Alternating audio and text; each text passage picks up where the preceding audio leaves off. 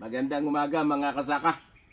Ah, ang ituturo ko naman ngayon sa inyo, ngayong umaga, ay tungkol sa pagtatanim o pagpupunla ng ating mga dwarf coconut, ano?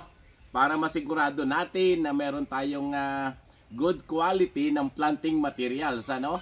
Para sa mga dwarf coconut na gusto nating itanim sa ating mga farm. Of course, kailangan natin ng ah, uh, this seedling bag, ano? Itong seedling bag na ito, kailangan medyo makapal, ha? Ah, it will cost you around ah, siguro 15 to 20 pesos is hanggang 25, ano? Pag nakuha natin sa ah, sa mga middleman, ano? So, ang gagawin natin, ay lalagyan natin ito ng lupa, of course.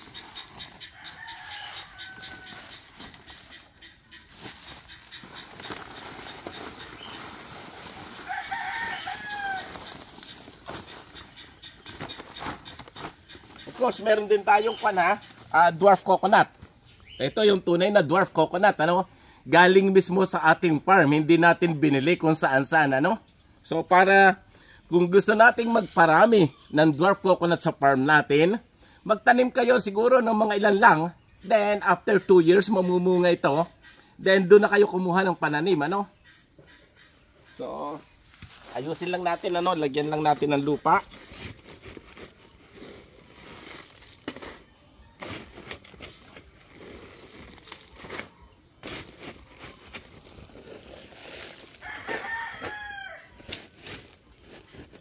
Hindi kinakailangan magandang klaseng lupa ha.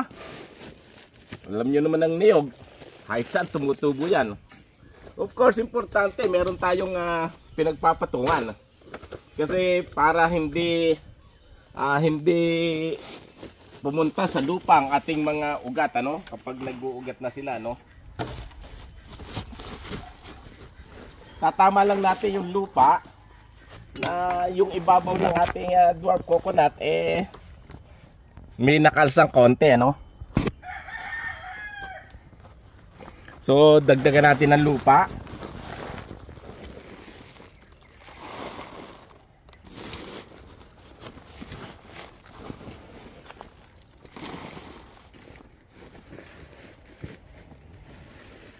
Ito para makasigurado tayo ha?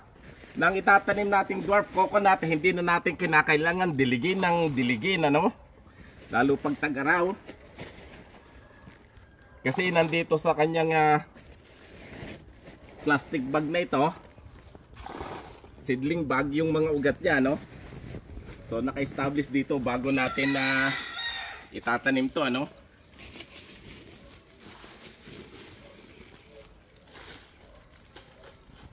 Ganito lang kasimple. Tapos babasain lang natin ang lupa, no? At sisibol na siya. Ipakikita ko sa inyo, ang usually ay nangyayari kapag bumibili tayo ng dwarf coconut. Na nangyari sa akin din, ano? Ah, tingnan niyo ito isang ah, coconut na ito, oh. dwarf coconut na ito. Ito napabayaan lang, ano? Usually, ang mga binibili natin, ay binubunot nila sa kanilang uh, pinaglalagakan nito, no? At kapag binunot natin, ang mga ugat na ito ay napuputol. Kapag nagputol ang ugat na yan, ah, medyo magtatagal bago ulit niya ma-establish yung mga ugat, ano? Lalo na pag nanggaling kung sa malalayo, ano? Ah, nangyayari bago dumating sa atin, ang mga ugat na ito, o bago natin maitanim, ang mga ugat na ito ay halos tuyo na, no? So, kapag itinanim natin sa lupa, kinakailangan natin siyang diligin araw-araw. At kapag nangyaring dinidilig lagi natin, nandoon ang pag-atake lagi ng mga ng mga anay. So, at kuminsan, sa halip na makarecover, ang ating ah, binili na sabi nga natin ay medyo mura na dwarf coconut, ano kasi, bear na bear na pananim, ano? Eh, nangyayari halos kalahati, namamatay. At saka hindi natin sigurado oh, kung ito bigang ipinakikita kung dwarf coconut ito ay tunay na dwarf coconut. O galing lamang sa tinatawag nating mga tall varieties ano? Sino sino makakakilala kung ito'y dwarf tunay na dwarf o hindi? Unless na talagang pupunta kayo sa farm ng may dwarf coconut at makikita ninyo kung paano itinatanim at kung saan ang gagaling ang mismong dwarf coconut. Naka nabibilhin ninyo ano. So, ganito kasimple, it will take about 4 months ano, siguro in 2 months time ganito lang ano, pero ang inire-release natin na dwarf coconut eh mga 5 months ano, 5 months na siya. So, unless na maging ganito kataas ang ating dwarf coconut, only then saka natin nilalabas at sisiguraduhin natin na ang ating mga itatanim ano ay makakasigurado tayo ng siguradong buhay na hindi na kinakailangan diligan. Ganito rin ang ginagawa ko sa iba ko pang parte ng farm na wala pang tanim na dwarf coconut ano. So, ito eh hindi lang para ipagbili o para sa mga kaibigan, kundi para din itanim sa mga lugar ko pa ng farm na wala pang tanim ano. So, ganito ang aking ibig kong sabihin lang, mag-ingat tayo sa pagbili ng dwarf coconut. Magsigurado tayo na ang tunay nating binibili ay galing talaga sa farm.